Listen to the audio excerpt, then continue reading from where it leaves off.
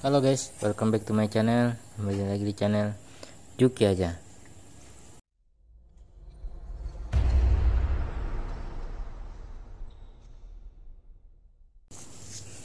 Kali ini kita berada di salah satu lokasi proyek jalan.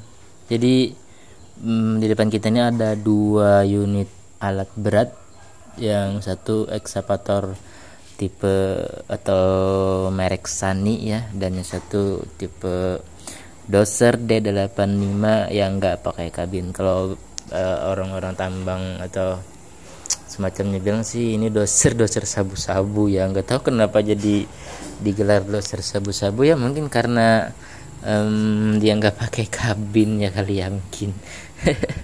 Jadi um, di sini tuh rencananya bakal dibangun jalan holing yang mana jaraknya itu enggak terlalu jauh banget antara 10 sampai 20 km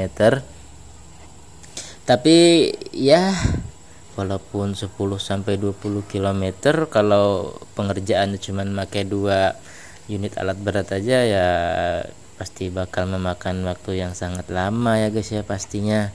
Beda dengan coba dia pakai 5 atau 6 unit alat berat mungkin akan cepat selesainya ya tapi nggak apa-apa mungkin mereka nggak terlalu ngejar uh, target atau apa. Jadi mereka nggak terlalu uh, mementingkan cepat selesai atau enggaknya. Yang penting uh, bisa berjalan aja gitu. Jadi um, unik sih di video kali ini. Saya baru pertama kali ngelihat uh, ekskavator Sani beroperasi yang katanya katanya ya kalau operat uh, kalau ekskavator Sani itu nggak bisa terlalu kerja keras. Yang artian kalau dia gali-gali tanah itu um, kerja keras guys ya. Beda dengan dia gali cuman apa cuman kebanyakan yang saya dengar dari teman-teman sih Sani ini cuman uh, dipekerjakan di ringan-ringan aja. Contoh uh, seperti muat batu bara di stockpile. Nah itu kan batu baranya itu udah masak udah jadi udah ber, berbentuk serbuk gitu. Jadi nggak um, terlalu perlu tenaga yang ekstra kuat gitu. Jadi uh, kebanyakannya informasinya yang saya dapat sih kayak gitu. Tapi ternyata di depan kita ini malah uh, ekskavatornya malah kerja keras malah kerja berat. Yang salah satunya dia lagi keruk-keruk tanah ya. Keruk-keruk tanah itu pekerjaan salah satu pekerjaan yang berat loh dan selama lima menit ke depan kita akan lihat um, video ini dan prosesnya ini kayak gimana. Eh btw udah tiga menit ya. Oh, baru baru aja ngomong berarti tinggal dua menit lagi gitu ya terasa mohon maaf durasi videonya agak pendek karena memang apa ya memang sengaja nggak bikin terlalu panjang karena ya begitulah ya. Kadang ada video panjang kadang ada video pendek. Saya sih takutnya kalian yang bosen liatin video ini dengerin saya. Dan kali ini kita ber beralih posisi lagi. Kalau yang tadi kita agak jauhan terus kita agak deket nih.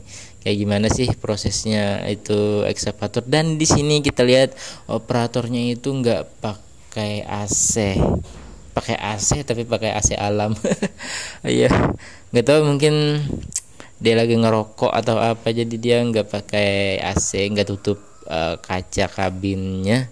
Tapi kalau menurut saya sih ya, tenang-tenang aja sih nggak ada debu juga. Jadi ya untuk sementara aman aja dia nggak pakai AC nggak tutup uh, kabinnya nggak tutup hmm, kacanya tapi kalau untuk di tengah-tengah hutan yang mungkin ini sangat-sangat bahaya ya. Kalau untuk ekskavator nggak tutup kabin itu takutnya ada lebah se sekumpulan lebah atau sekawanan lebah yang melintas. Hmm, bisa dibayangkan. Sering kejadian sih kayak gitu ya. Ketika ekskavator lagi line clearing atau lagi ngerebah-rebahin sawit itu eh tahu taunya eh, lebah sarang lebah. Dan kebetulan posisi operatornya nggak nutup kaca kabin.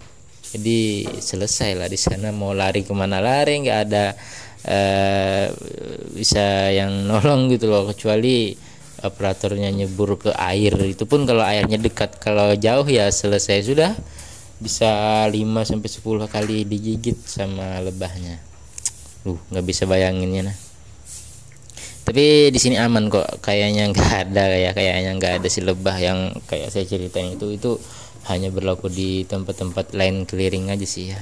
Yang di, di hutan-hutan banget gitu loh. Dan gak terasa udah 5 menit juga. Aduh guys sorry banget. Uh, video durasi videonya itu agak singkat agak pendek banget tapi nggak apa-apa. Nanti kita akan ketemu lagi di next video next video di dump truck dump truck hauling hunting hunting dump truck hauling. Dan uh, sampai ketemu lagi. See you next time video. Bye bye